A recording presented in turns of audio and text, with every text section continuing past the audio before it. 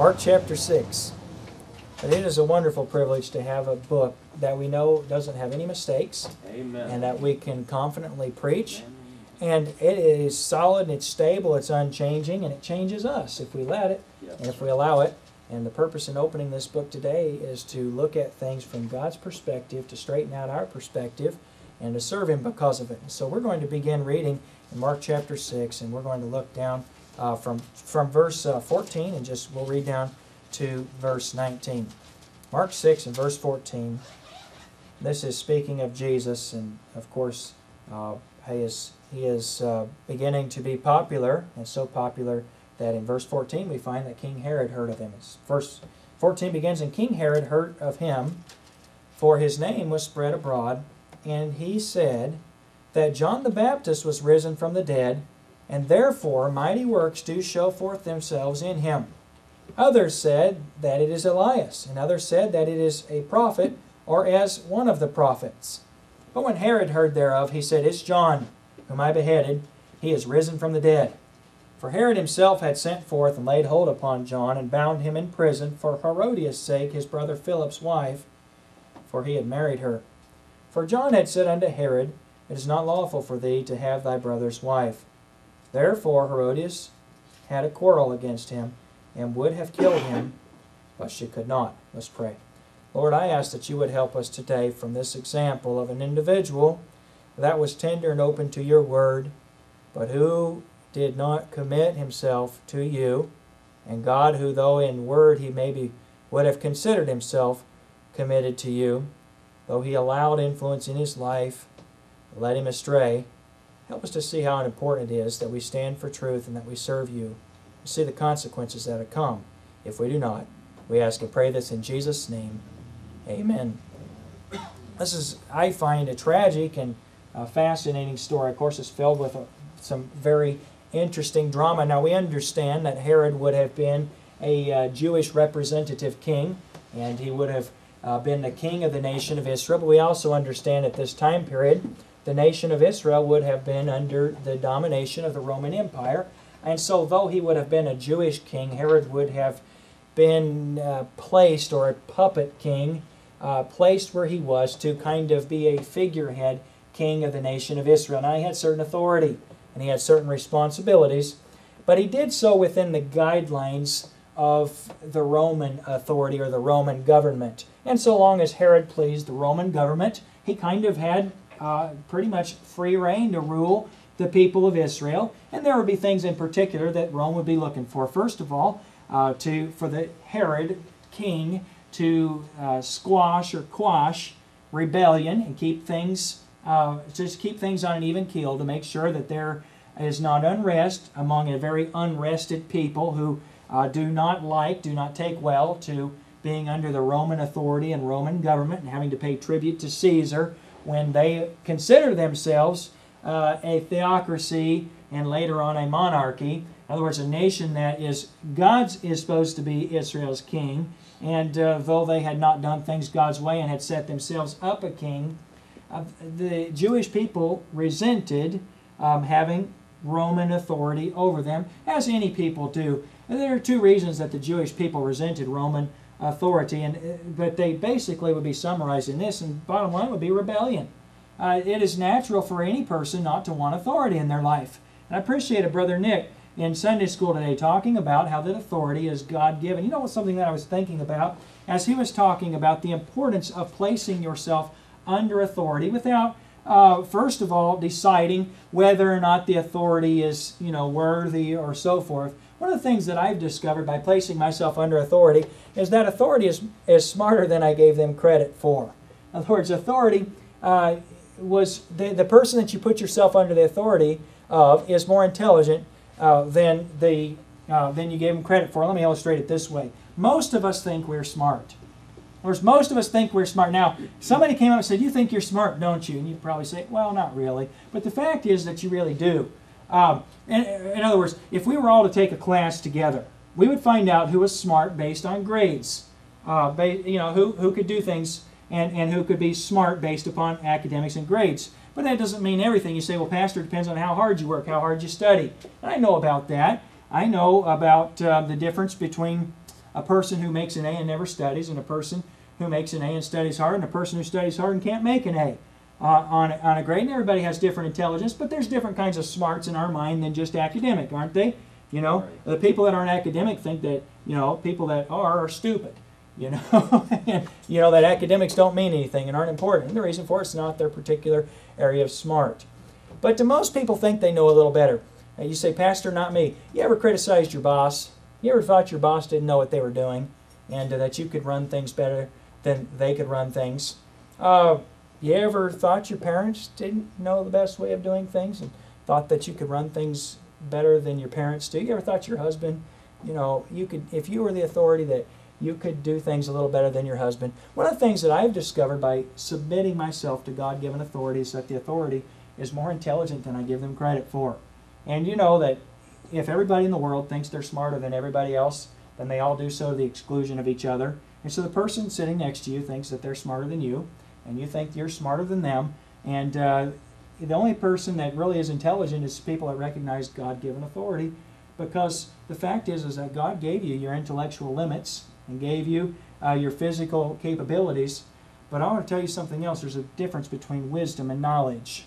And there's a difference between a person who knows how to do right and knows what to do and the person who does it. And I've said many times, and I believe this to be a fact, that any person who does things God's way will seem wise. And that's just a fact. You look at the, look at the Bible, and you don't have to be really intelligent just to obey. And the Bible says this is a Bible principle. A good place starts the book of Proverbs. And you look at the Bible says, you know, it says that this is better or this is good or this is wise, and you do it, and you'll find out that the Bible is true, and people will think that you're intelligent and smart, etc., simply because things work out well in your life. And uh, that's just, I, I'm not sure, I'm starting to get off there just a little bit. We're talking about biblical authority, and we're talking about the authority of Herod, and how that Herod had authority that was basically given to him from the Roman government, and he would be recognized by the Jewish people as having authority, although they would know that his authority really didn't come from them, it came from the Roman government. But Herod's an important fellow nonetheless, and he obviously has the ability uh, to put people to death. And so, you know, he has more authority than anybody in the city of Fort Lauderdale, I would say. He had the single handed ability to order the execution of John the Baptist. And so I would say to you, though, you would say, well, he's not much of a king. He's king enough that if you crossed him, that would be the end for you.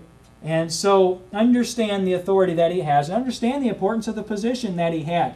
Now the Bible said in verse 14 in our text, when we begin where we begin our text, speaking of Jesus, that King Herod had heard of him, but and the reason for it was that his name was spread abroad. Now, what was the reason that Jesus' name was spread abroad? Well, because of what he did. People knew who Jesus was because of what he did. What did he do? Ultimately, the greatest and, and the, the most powerful thing that Jesus did was forgive sins.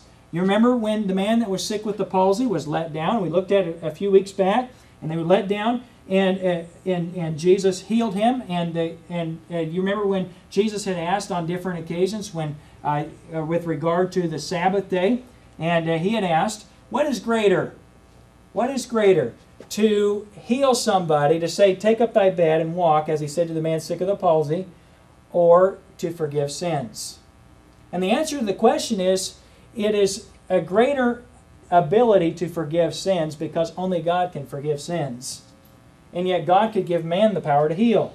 And Jesus, as he worked in his earthly ministry, if you study the scripture, God gave Jesus the power of the Holy Spirit. And Jesus said, because of that, that you and I could do greater things than he did uh, because of his going to the Father and because of the promise of the Father, God's Holy Spirit. Study the baptism of Christ. And you look at what happened when Jesus surrendered to the will of the Father through his baptism. Jesus wasn't converted, Jesus wasn't saved, his baptism wasn't a, wasn't a sign of anything other than submission to the will of the Father. When Jesus submitted to the will of the Father, he surrendered his ability as God. He was fully God, but he surrendered his ability to accomplish things as God.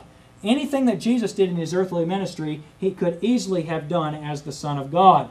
But he did not, because he was modeling for us the uh, being the second Adam, the man who, uh, though he is in the likeness of sinful flesh, yet lived without sin. And Jesus didn't use special God given abilities to have to conquer sin, my friend. He came in the likeness of sinful flesh. He came with the same temptations that you and I have, with the difference that he did not succumb to those, eh, those temptations. And he laid down, he surrendered his authority as God the Father and worked through the power of God's Holy Spirit.